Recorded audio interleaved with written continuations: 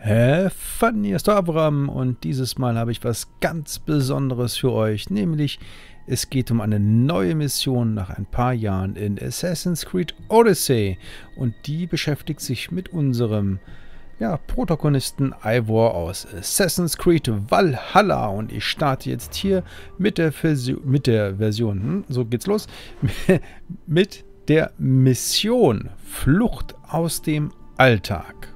Viel Spaß!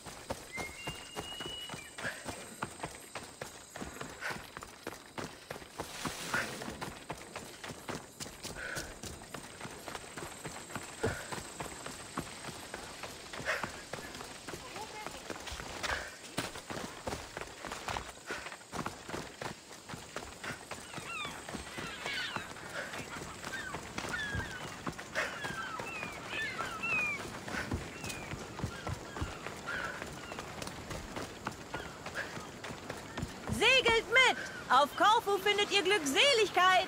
Tägliche Überfahrten!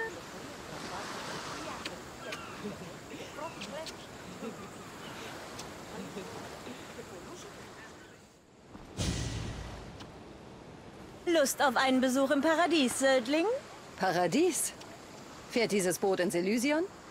Nein, nach Korfu. Da gibt es keine Arbeit, nur Vergnügen. Ein reiner Urlaubsort. Urlaub? Was ist das? Oh, ein Gemütszustand. Du musst dich um nichts kümmern, nur um deine wohlverdiente Entspannung. Eine ganz neue Idee. Das klingt verführerisch. Nirgends ist das Wasser klarer als vor der Küste Korfus. Was ist mit Soldaten? Verbrechern? Menschen? Von denen bräuchte ich eine Pause. Falls welche dort sind, sind sie damit beschäftigt, sich zu entspannen. Nimmst du an der heutigen Überfahrt teil? Das ist genau, was ich brauche. Urlaub. Zumindest für ein paar Tage. Na, dann komm an Bord. Unser nächster Halt? Die Glückseligkeit.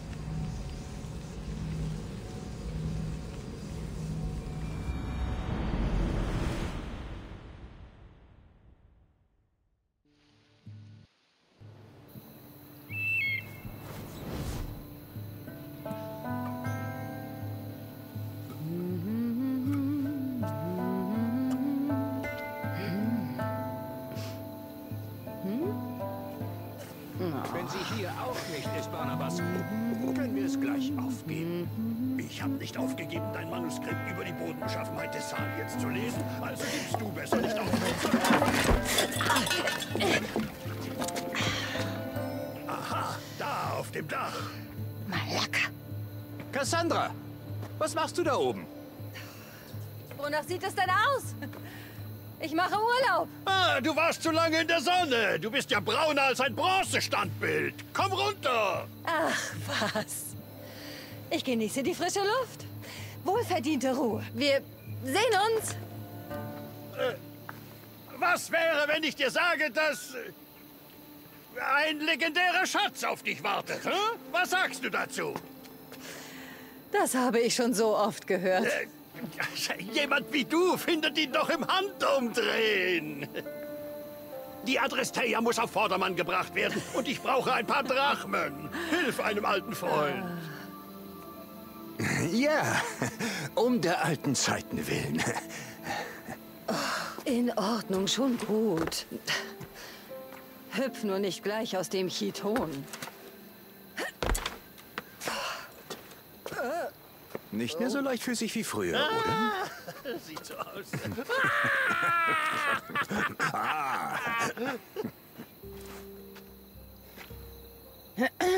Was hat das mit diesem Schatz auf sich?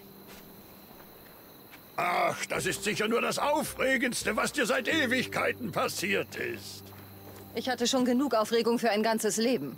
Das ist wirklich der letzte Ort auf Korfu, an dem wir dich vermutet hätten. Was hast du hier ganz alleine gemacht? Nichts, werter Herodotos. Und dabei hatte ich wirklich sehr viel Spaß. Tagsüber gedöst, nachts die Sterne bewundert und der Wein floss in Strömen. Das sieht dir gar nicht ähnlich. Vielleicht sieht es der alten Cassandra nicht ähnlich, aber die neue Cassandra hat sich nie besser gefühlt. Du gehst doch nicht in Ruhestand, oder?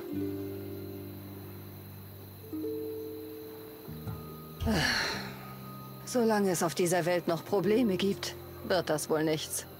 So ein mürrisches Gesicht kenne ich von dir gar nicht. Komm schon, jeder mag Schätze. Ich bin nicht in Stimmung. Ich bin gerade beschäftigt. Nicht in Stimmung? Das klingt nun wirklich gar nicht nach dir. Ja und? Was ist daran so schlimm? Mir geht's gut, wirklich. Ich brauchte einfach mal ein bisschen Zeit für mich, um über mein Leben nachzudenken und Abstand von allen zu gewinnen. Nicht bös gemeint. Schon in Ordnung. Es stimmt. Du hattest wirklich schwere Bürden zu tragen. Aber wenn irgendjemand das schafft, dann Cassandra. Du brauchst etwas, das dich von den Bürden ablenkt. Komm schon. Sag, dass du mit auf Schatzsuche kommst. Äh? Für die Adrasteia. Für mich. Gut, gehen wir auf Schatzsuche. Damit du ein paar Drachmen in die Taschen bekommst. Schon besser. so kenne ich dich. Die Beute wird sicher reichen für ein schickes neues Schiff.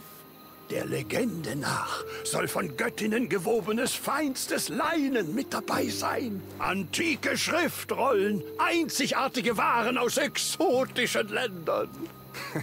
Jetzt werd mal nicht überschwänglich, Barnabas. Schon gut, ich will niemandem die Überraschung verderben. Auf der gesamten Insel findest du Hinweise, die dich zu unermesslichem Reichtum führen werden. Wenn der Schatz so legendär ist, warum hat ihn dann noch niemand gefunden? Seit Jahrhunderten sucht man danach. Nun, vielleicht nicht ganz so lang. Niemand hat ihn je gefunden. Aber heute finden wir ihn. Abwarten. Das Einzige, was es hier im Überfluss gibt, ist Sand. Und Piraten. Ich hol schnell mein Zeug.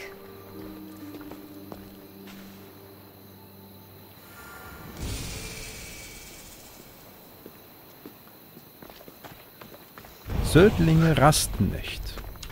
Hierbei müssen wir mehrere Stationen abgehen und ich wünsche euch schon mal viel Spaß beim Anschauen.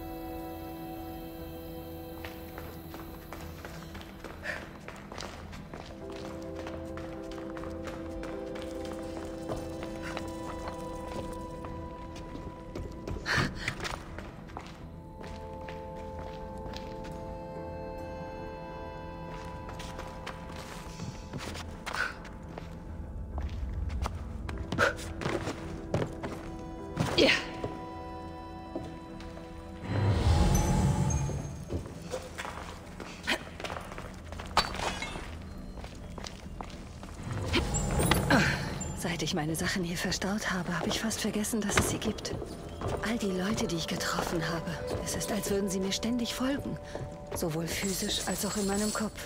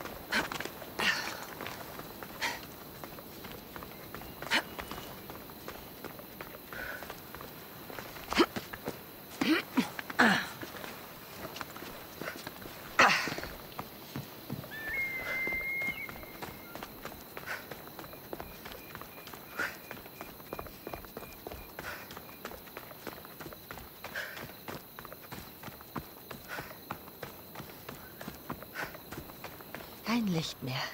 So bleibe ich ungesehen.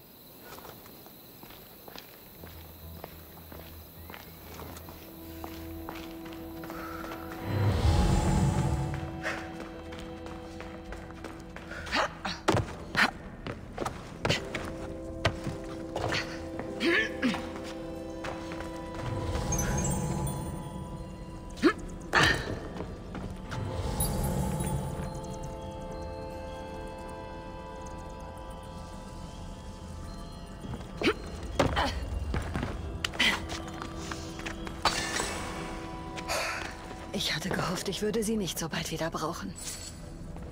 Wenn du das Gegenteil von Urlaub suchst, fahr nach Sparta.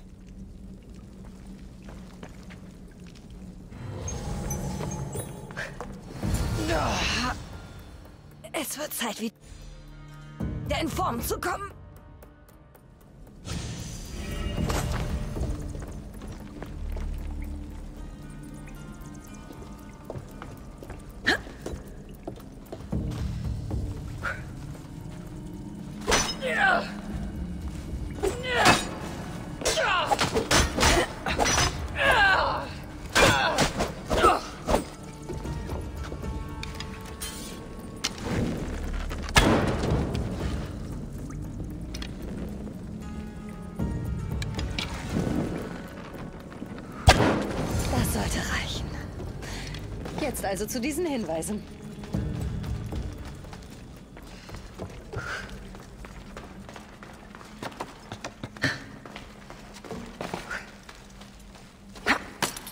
Ja.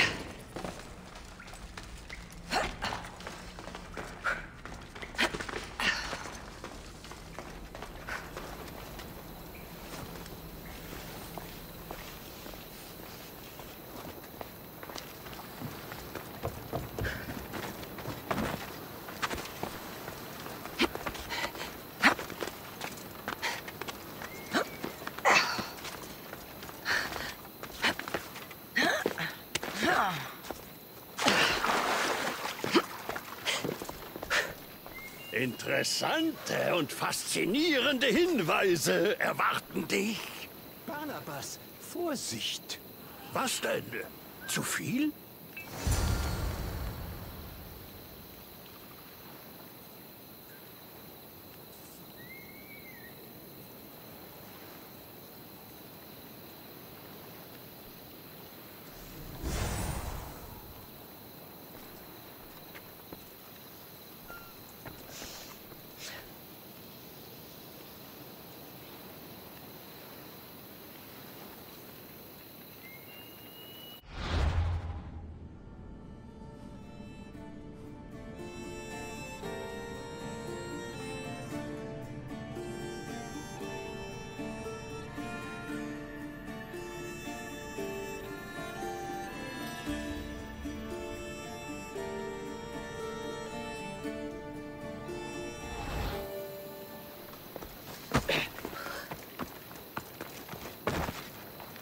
Verdammt, das gute Leder.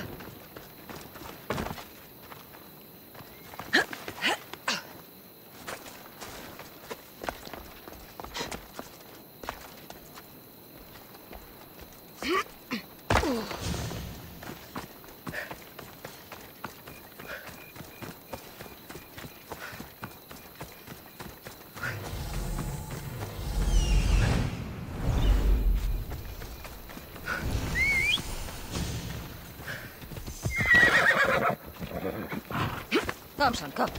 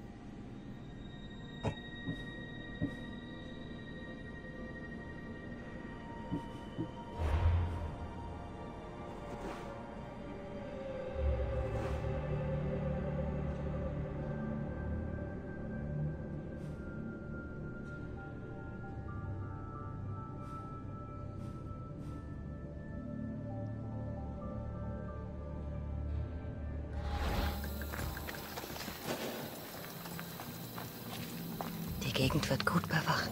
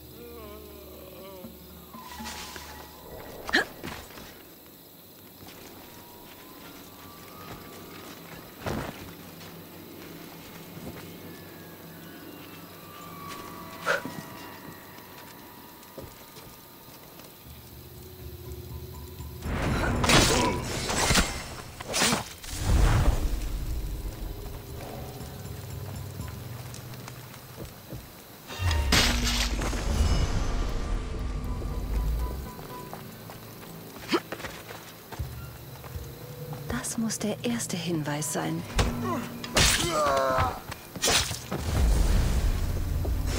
Moment. Wer hat das geschrieben? Sieht aus, als wäre es an Bord eines Schiffes während eines Sturms hingekritzelt worden. Von Barnabas vielleicht? Ein legendärer Schatz. Hm? Wirkt eher, als hätten Barnabas und Herodotos einfach nur meinen Urlaub beenden wollen. Diese beiden. In Ordnung, Jungs. Wo soll ich als nächstes hin?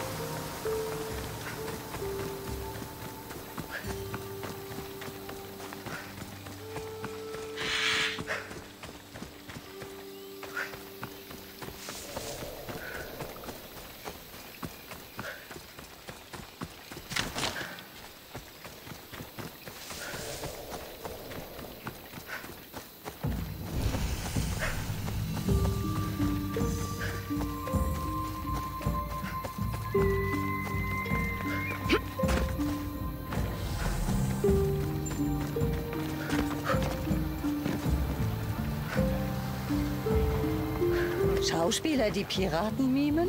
Nicht schlecht. Die beiden haben sich selbst übertroffen.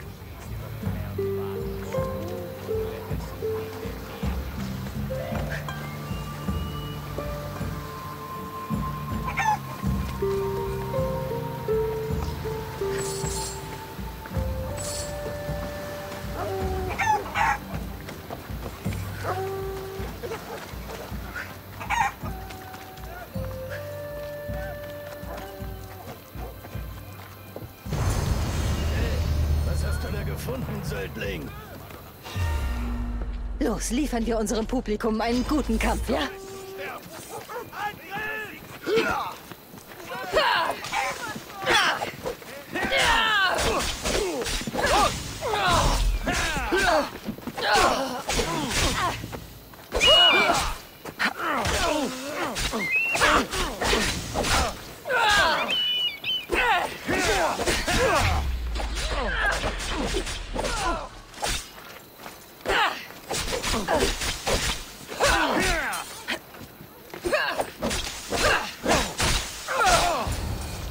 Keine schlechte Vorstellung.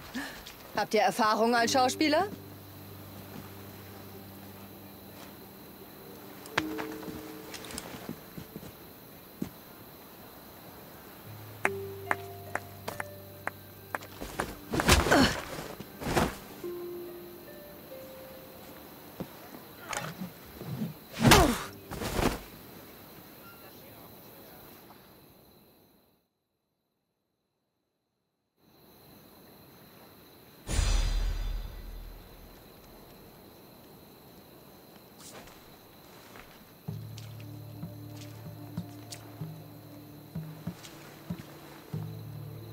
Wir wissen, dass du es weißt.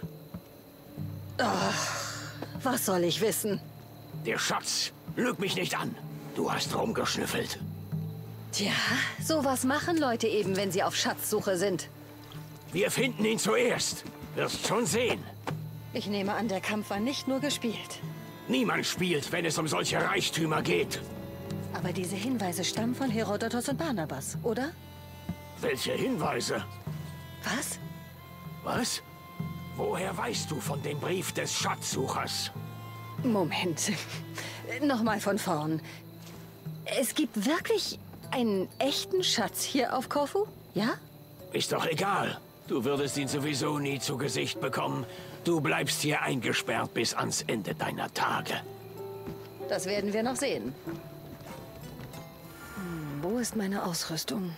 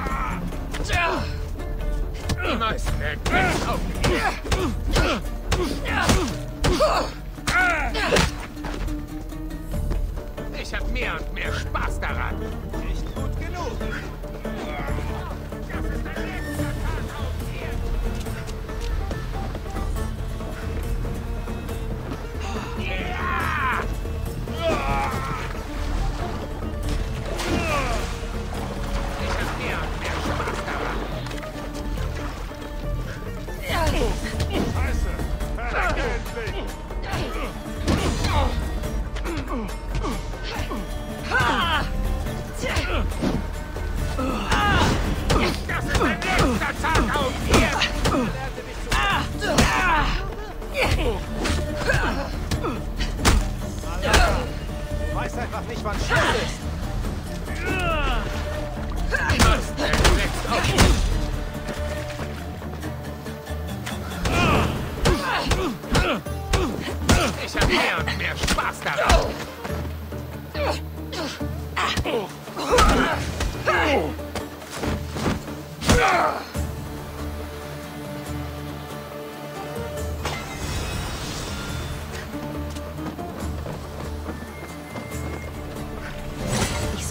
dieser Siedlung nach dem Brief suchen, den er erwähnt hat.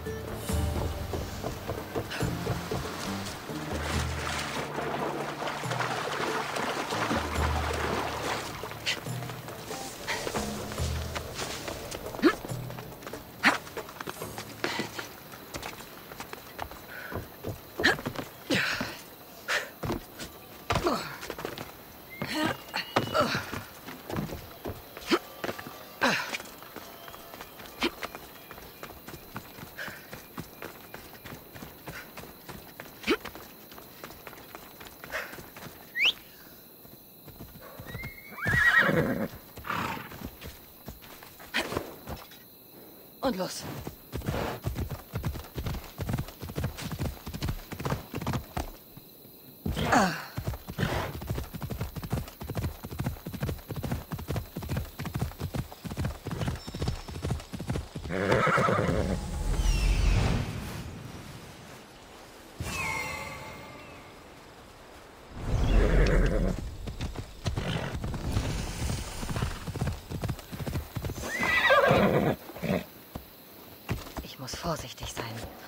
Hier sind viele Wachen.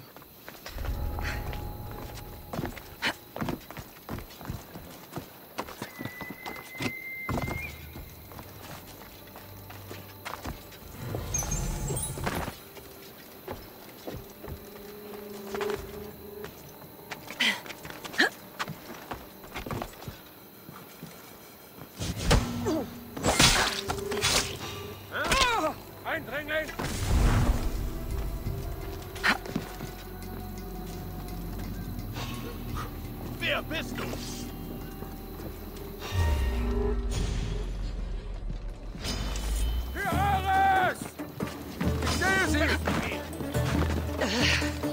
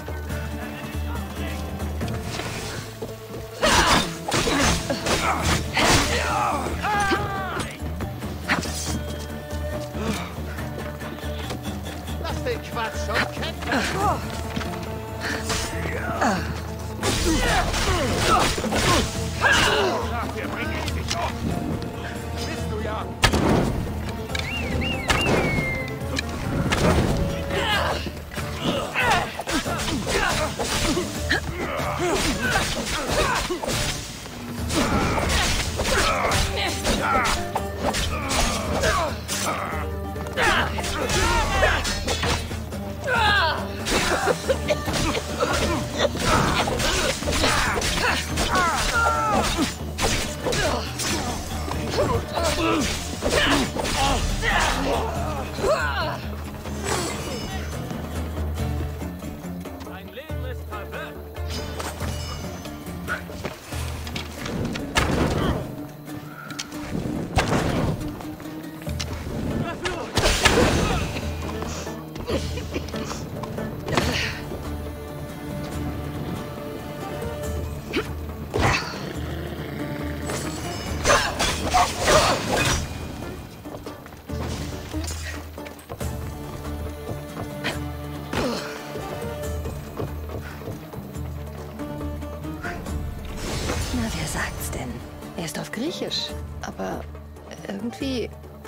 nicht.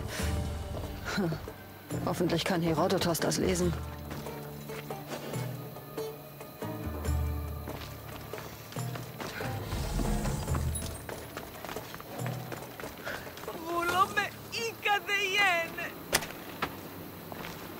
Ich dachte schon, ich verrotte hier.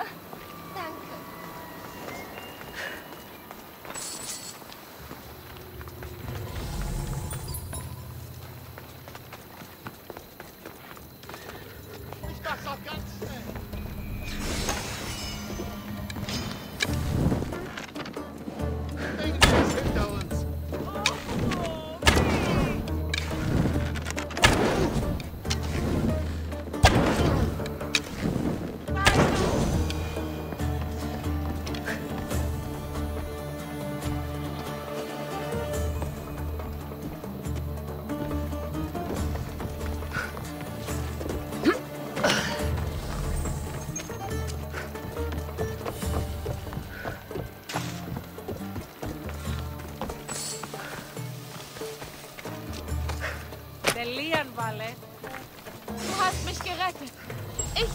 idea.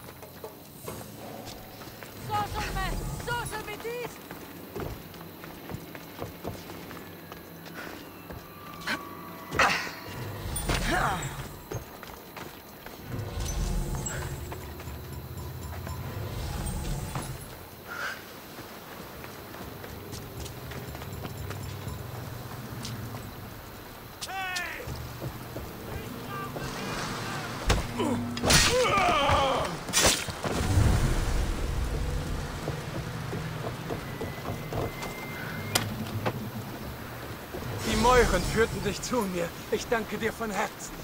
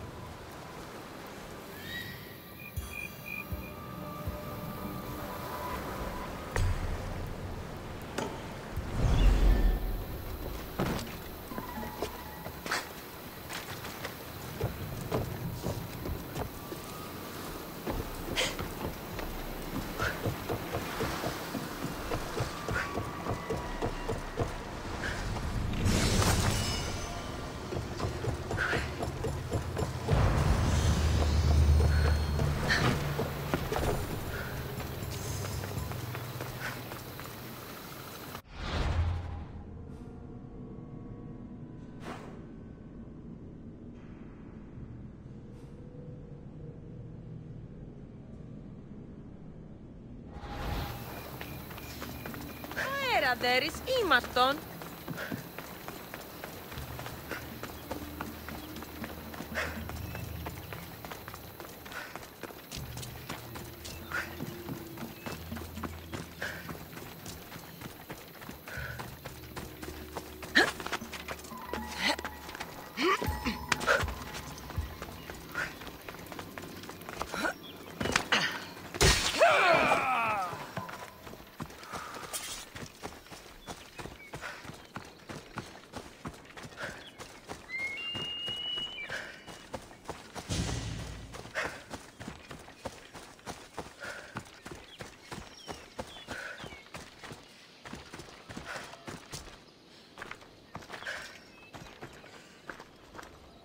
Du lebst!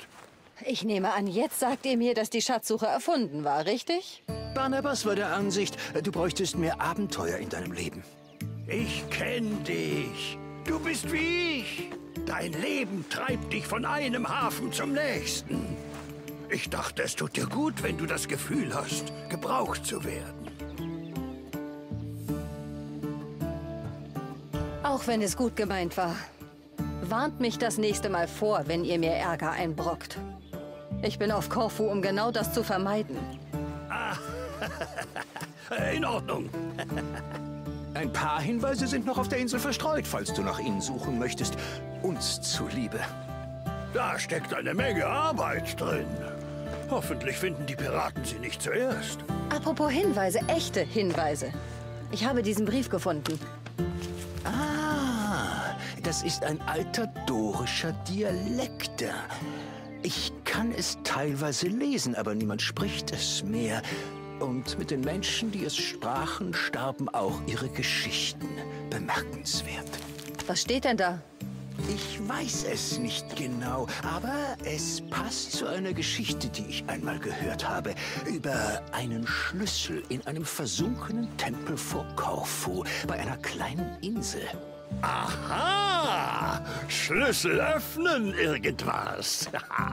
Unsere Suche ist noch nicht vorbei, den Göttern sei Dank. Ein Schlüssel im Wasser?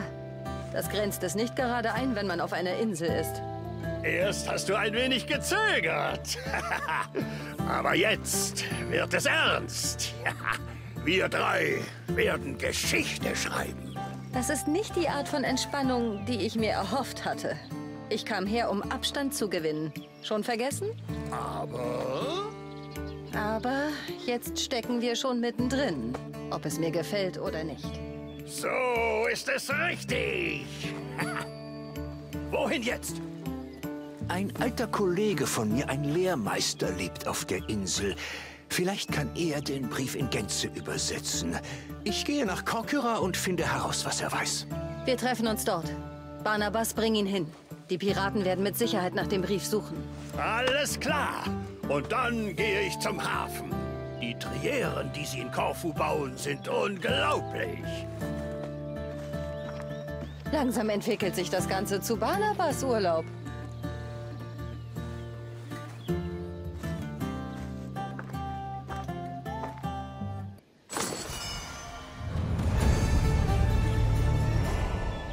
So, und hier haben wir jetzt aktuell noch zwei Missionen, die wir erledigen können.